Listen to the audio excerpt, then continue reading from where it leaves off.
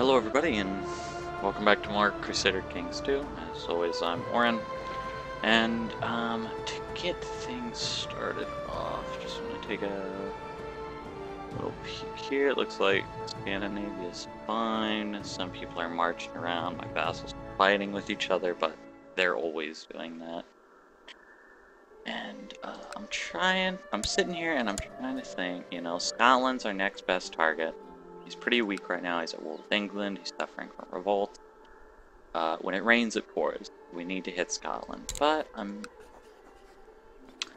I'm kind of having a hard time picking which county I want to take. I'm... I think I'm leaning on an Innse Gall, though. Not because it's a particularly good county, you know, we could take Gowrie and it'd be much better.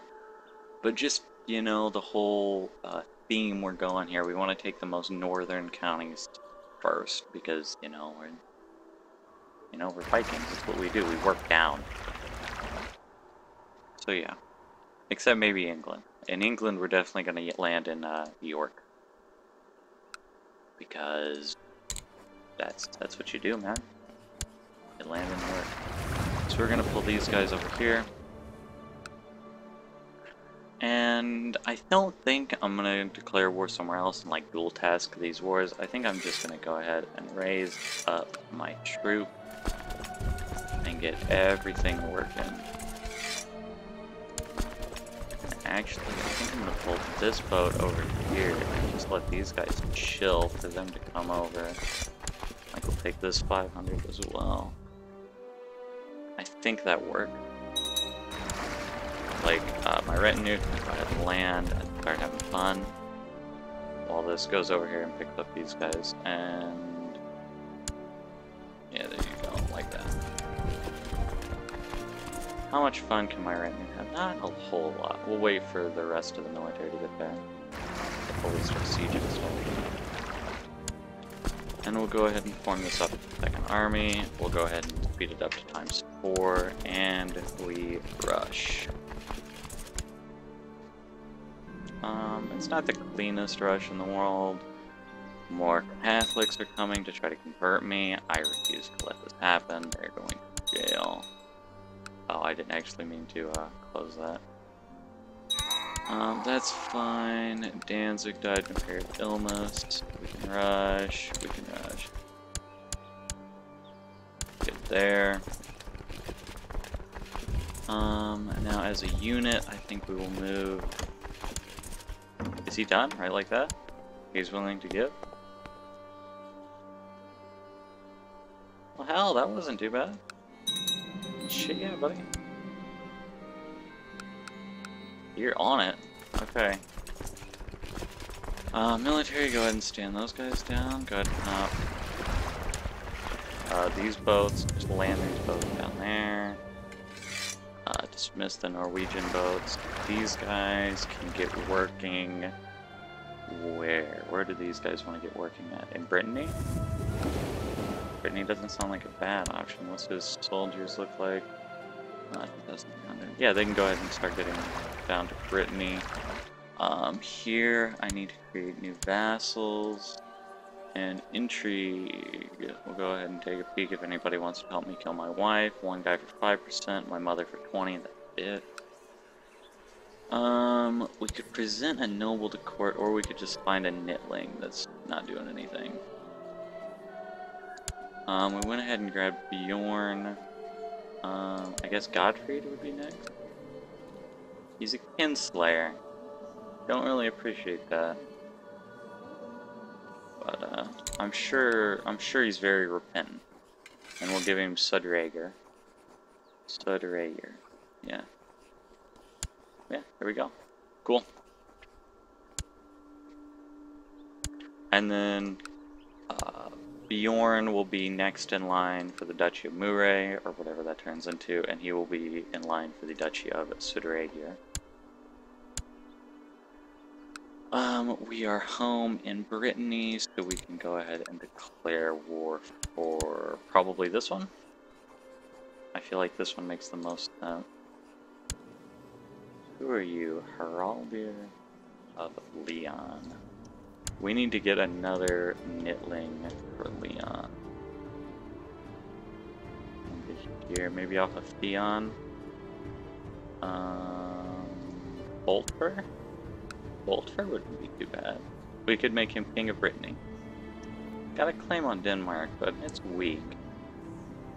Um, doesn't look like he stands to inherit anything.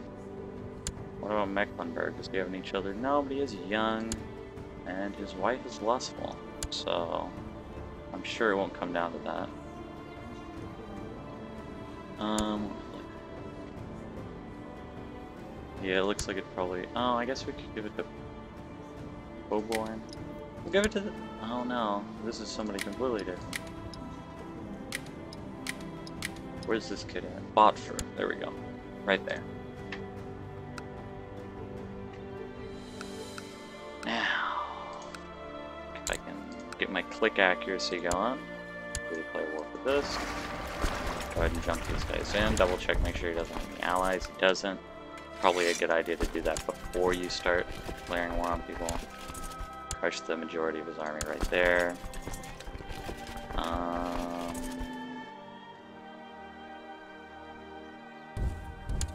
and what's this? 18th of May, 18th of May. That may work, that may not. Did work. Go ahead and walk down here. Crush this 800. No survivors. Pull up here, crush this 400. 19th of June, 22nd of June. Go straight into here. Got him. 73%. Nope. Walk up north. Pull these guys in here. Oh, this man I need arrested. Another one I assassinate. Hmm. Um. I don't really care. I guess I'll take assassination chance. I'm probably not going to need to arrest anybody. I hardly ever arrest anybody in this game. Our fort level is 4, but we have a lot of garrison, which is pretty disappointing. I really doubt we're going to be able to rush this siege. Scotland hasn't ended their revolt yet.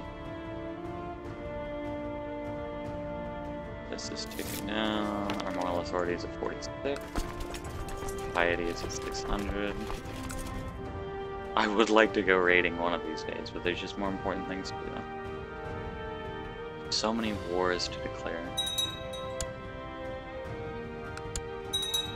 Taking the seat the hard way and the long way. Sure it'll be fine. Bodford has contracted measles. Prison, yep ended inconclusively. Oh, Snorri, it had to happen one day, man. I'm sorry. It had to happen one day. You lost Jerusalem. This guy is apparently still heir to the Duchy of Jerusalem, though. I don't know how. I guess Snorri is still a who holds the Duchy of Jerusalem? Nobody. Okay, so that's not that's just not true at all. Um, there might be some worth in Snorri's kids because they are knytlings and they are the sons of badass. They are the sons of a badass. Um, I could grant this guy a land of title. I guess I could give this guy Brittany instead of the kid that just got measles. Yeah, we'll do that. So we'll go ahead and take Leon from this guy because he doesn't deserve it. Now we'll pop back on over to Sturla Snorrison. You magnificent bastard. And we'll go ahead and give you Leon. Very good. Short reign modifier. Sure. And then after we take this, we'll just give it to him as well.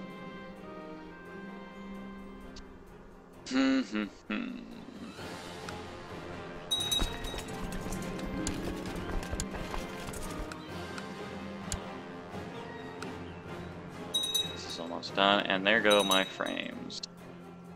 My frames are gone. Okay, let's go ahead and speed this down a little bit. Oh my god, are they gonna come back? pause the game for a second. I'm gonna just make a break in the recording here. Maybe my frames will come back. Yeah, the walls are locked. Oh.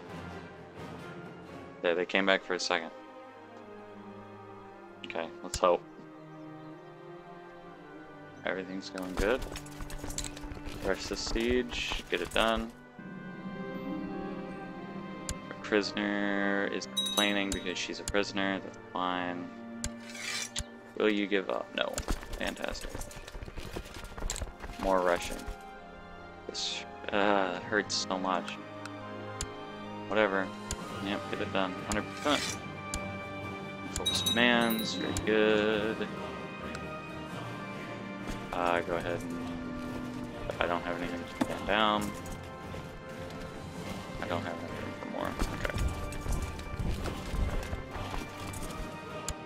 vassal. Create new vassal. And I now have the piety required. Never mind, it's 750. Okay. And this number is going down because someone somewhere lost a holy war. Fantastic.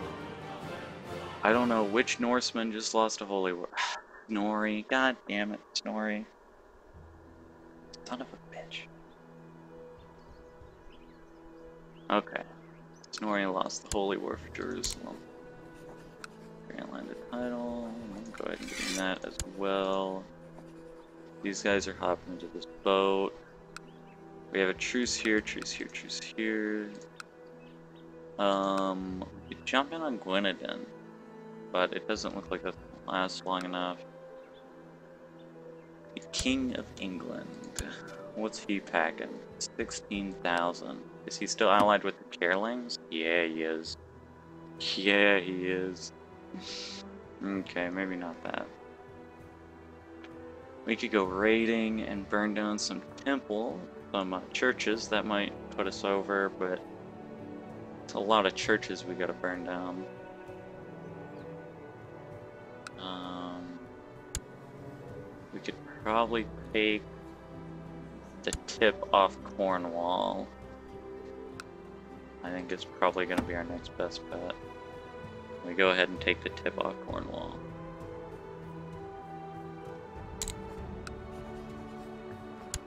Conquest of Cornwall.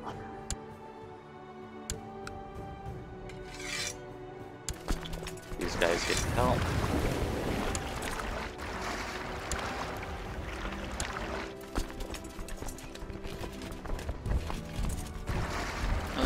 Get the neg mods for uh, landing, but I'm sure it'll be fine. Yeah, they have no morale, they just raise. Just crush them. Um, we'll go there and come right back. Set this boat down because there's no point for it to be cluttering up the screen. There and right back. The war's that, called in Moray not care. I just dispatched Morena so long ago.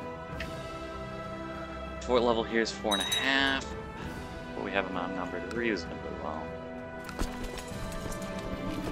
More bishops are trying to convert me. That's not gonna happen. Odin for life. And that's that rush isn't so bad. Jarl Bjorn. Herlin. 95 gold. For that rep increase. And there go my frame. What do you know? We'll give him Drought City, that's 15.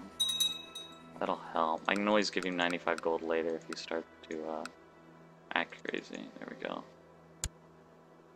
And my frames are right back. Okay. Well, I'm not gonna... Oh, never mind. They're right back. A gun. Okay. These frame drops, guys, I don't know. Oh, I got it fixed to where it doesn't happen as. Oh, this is a terrible rush too. We're losing like 400 guys. Whatever. 100%. Make beat. I got it fixed so it's not like as bad as it was, but it's still pretty rough. We can create that temple holding there, and look at that. Look at that! Son of a gun, guys. We freaking did it. We freaking did it. Let's go ahead and we fix that.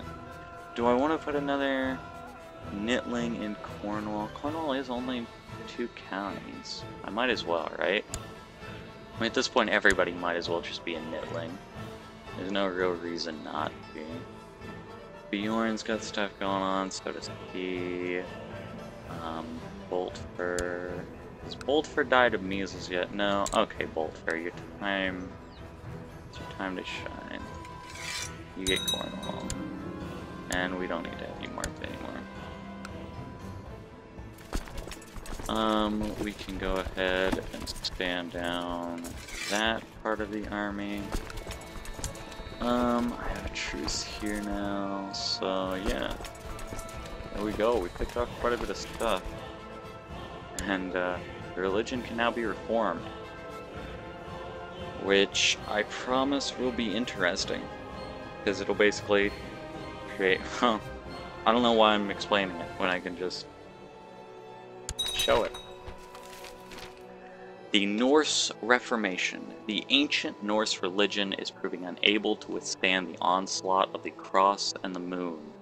Rather than abandoning the old ways, Philip Starkadir I and the most powerful priests have decided to reform the Norse faith, with codified rites, a holy scripture, and a strict church hierarchy under a single leader. They hope that the reformed Norse faith is a better arm to fight back against the weak and effeminate foreign beliefs.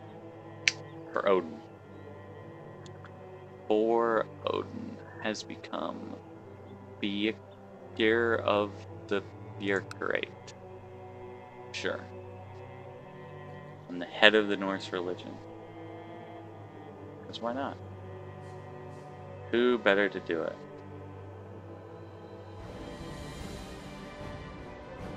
So, yes, this gives us a lot of different things, primarily under laws. We can now, uh, after we've reigned for 10 years and we crank our crown authority up, oh, it's to be high for pretty much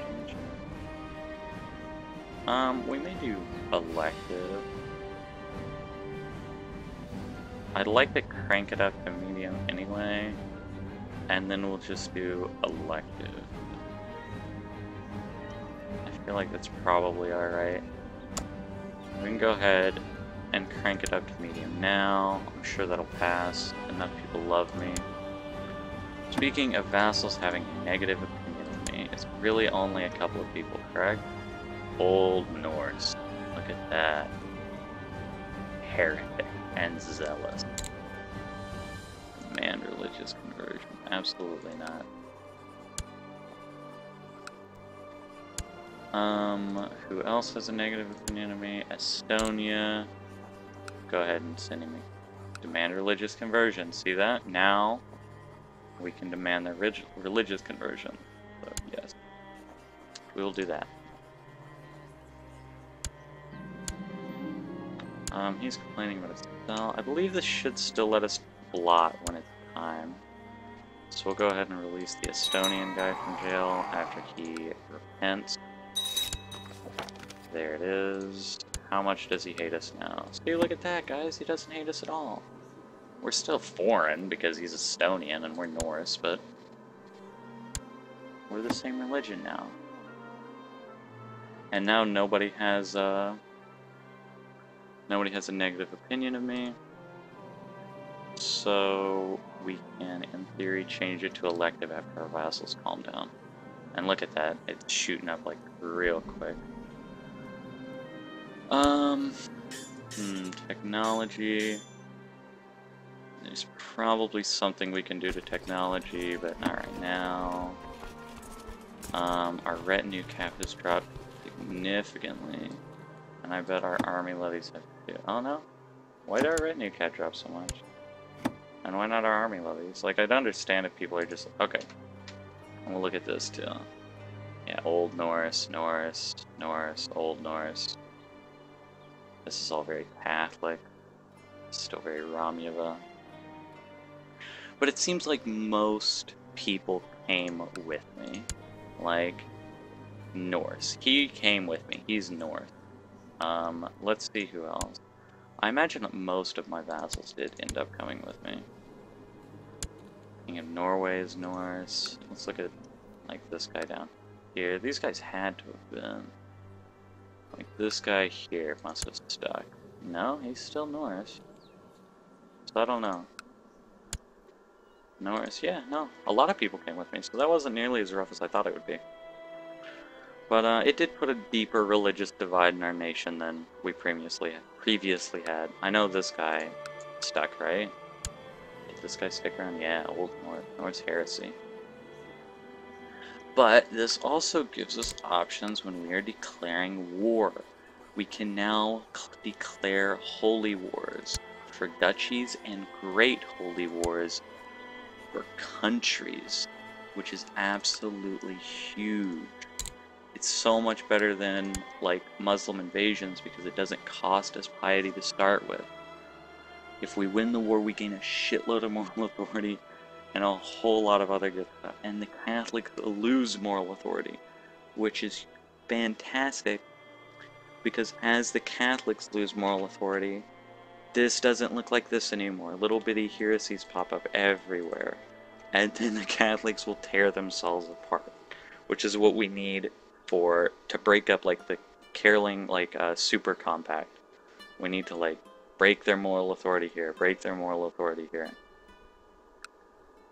Um, I don't know if there's any way of me to actually look at the Catholic moral authority. I don't believe there is. There may be. But yeah, North Faith. Shit is pretty top, guys. Uh, Emperor Starkdeer. Even though people say he's the drunkard, he's actually not too bad. 2,500 prestige at the age of 42. No piety currently, but it's just because we spent it all. Um, England soldier-wise is they're I mean they're admirable. We got them beat out by you know 10,000 or 13,000, but they're definitely nothing to laugh at. That's for sure. Definitely nothing to laugh at. Scotland would probably be a better pull. Oh, I don't want that. But yeah, um, I've been recording this episode for a while, I think, so I'm just going to end it here. Um, if my game doesn't crash, which it looks like it might. Oh, I hope it doesn't crash. Oh, Reformation. Reformation. But yeah, no. This episode, these last uh, three episodes went pretty well. Well, we uh, crushed our revolts, picked up some land, and formed north. So uh, next time, what we're gonna try to do is establish elective succession, I think? Maybe? We might do one more round of Gavelkind.